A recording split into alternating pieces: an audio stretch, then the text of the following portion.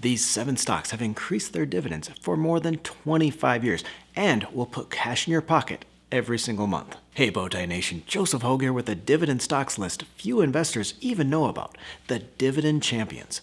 It's a list of 157 companies with 25 years or more of increasing their dividend payments.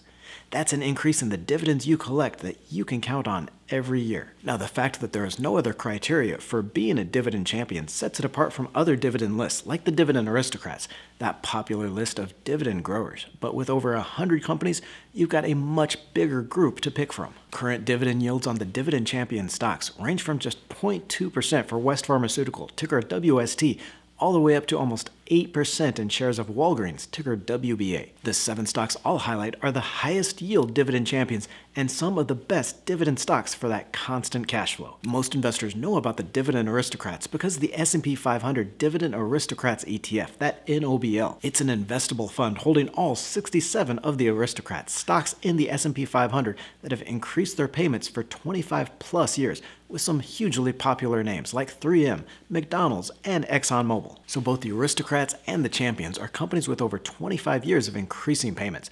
The only difference is since the Dividend Aristocrats is a copyrighted trademark of Standard & Poor's, only companies in that S&P 500 index are also aristocrats. That means only 67 companies makes that list versus 157 stocks in the dividend champions. And because there's no formal index or ETF tracking the champions, it's difficult to compare the two groups on returns or sector weightings, but I like starting with the champions just because you have that bigger list to pick from. Plus, including those smaller companies outside the S&P 500 means more opportunities for growth. I'll reveal those seven high-yield champions next, but we've also looked at the dividend kings in a video I'll link to in the description below. The Kings list are those stocks with more than 50 years of increasing payments, the ultimate in cash flow growth. Here, just 49 companies made that list of Dividend Kings, so check out that video next. And I want to get your input on this as well. Which group do you like best? The Dividend Champions, the Aristocrats, or those Dividend Kings? Let me know in the comments which do you follow and think pay higher dividends. We're counting up to the highest yielding Dividend Champions with the first on our list, Consolidated Edison, ticker ED, with its 3.6% yield. Now here, I'm only highlighting dividend stocks with yields above 3% because below that, it's not much of a dividend if you ask me. There's another reason I wanted to get consolidated on the list though. Utility stocks have been slammed over the last year, falling 15%, the worst performing sector, and underperforming the market by almost 30%. You see, higher interest rates are pulling cash flow investors out of dividend stocks like utilities and into the safety of bonds, so we're seeing these and really all dividend stocks come under pressure. But that's meant utility stocks have fallen to some very attractive valuations.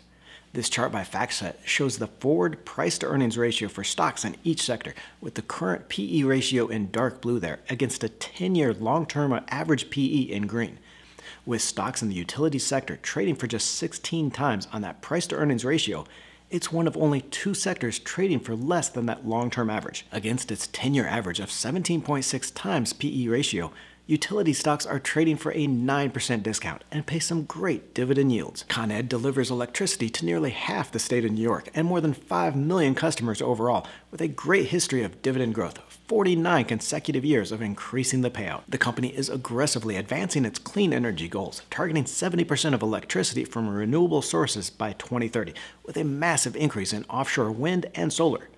While that kind of a build out is expensive in investment now, it could come through in higher cash flows and dividends in the future. Chevron, ticker CVX, has been one of my most dependable dividend stocks with its 3.7% yield and 11% total annualized return over the last five years. And while Devon Energy and Diamondback have produced higher returns for my portfolio over that period, no other energy company combines the return and the safety like Chevron low cost of production, and great management across just a huge mix of energy sources gives Chevron the diversification to survive any environment.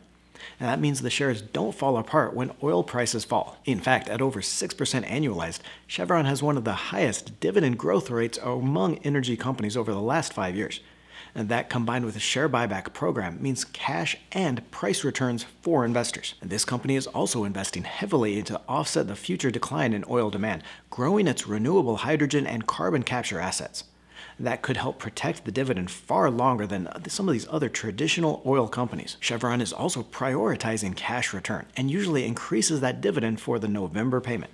It's also recently raised the buyback program to as high as $20 billion, taking as much as 6% of the shares off the market. Shares are trading for an attractive 12 times price to earnings ratio and a solid dividend yield. And we're just getting started with our dividend stocks list, but picking the right stocks isn't nearly as important as having an investing plan that fits your goals. It's why I created this quick three step guide to making your investing plan.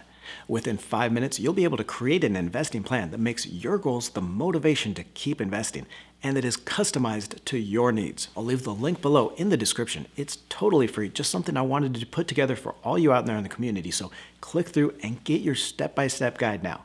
Folks, I've seen way too many investors miss out on the opportunity to make their money work for them, and it's because they didn't have a plan that fit their needs. So look for that link and get your free customized plan. Back to our list though, and AbbVie, ticker ABBV, has been a long-time favorite of mine with its 4% dividend, but that could be changing. AbbVie is a best-in-class immunology drug company with a solid pipeline in oncology and eye care as well. The company has been able to grow the dividend by 9% a year over the last five and books a 43% payout ratio. But before you get too excited, there is a warning and why I'm a little hesitant on the stock right now. You see, the big worry for AbbVie right now is its patent expiration on blockbuster Humira. Management is forecasting an 8% drop in sales this year and its third straight year of lower revenue next year on biosimilar drugs from other companies. It's going to be a difficult keeping up the sales growth from new drugs, but that's just the name of the game here in pharmaceuticals. AbbVie does have a best in class pipeline with more than 20 indications in phase 3 or submitted applications. Sales for Skyrizi were up 80% on a year over year basis last quarter, and Rinvoq was up 50%. Now, none of this is going to keep the company from staying on that champions and the dividend aristocrats list, increasing its payments, but investors could be disappointed compared to that 9% growth in the past. By comparison, though, investors could see an upside surprise on shares of International Business Machines, ticker IBM, and its 4.5% dividend. And dividends are the only thing IBM investors have had going for them for more than a decade, with the payout growing by 6% a year over the last 10. The stock price has gone nowhere though, with other tech stocks up 600% since 2009, while IBM has produced a paltry 27% total return over that period. That might actually set the stock up for an upside surprise though.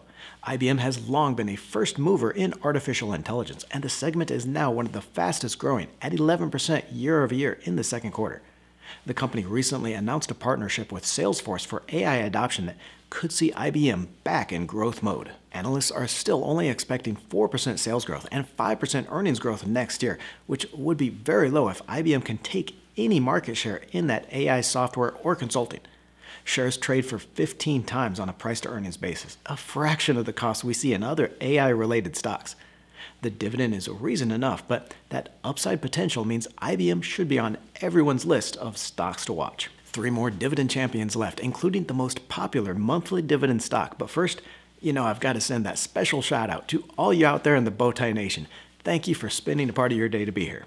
If you're not part of that community yet, just click that little red subscribe button. It's free and you'll never miss an episode. Realty Income, ticker O, is easily the most popular monthly dividend stock, recently celebrating its 121st dividend increase. I recently featured Realty Income in another video on the fastest growing monthly dividend stocks. The retail real estate owner has increased its payout 3.75% a year over the last five and pays a 5.4% yield. Realty Income has over 50 years of operating history and owns nearly 6,000 properties in 49 states, Puerto Rico, and the United Kingdom. Even though 83% of the rental revenue is from the slow growing retail sector, I'm okay with this one because it's diversified across some of the safer types of retail property like convenience, dollar stores, drug, and grocery. Lease terms average 9 years, and occupancy has never been below 96% for the properties. Rent growth isn't terrifically strong here at just 1% annualized, but it is consistent and supports that dividend. Now, unfortunately, the stock hasn't been immune from the sell off in overall real estate stocks, and with only a 4.8% annualized total return over the last five years, I think we're seeing some retail specific weakness as well, but I do believe once interest rates start coming down next year, we're going to see better overall returns from this one as well as dividend growth. WP ticker WC, could be my favorite real estate stock, not just for its 6.5% dividend yield. WPC is a $17 billion REIT with great diversification across property type. In fact, pretty evenly spread across industrial, warehouse, office, and retail space.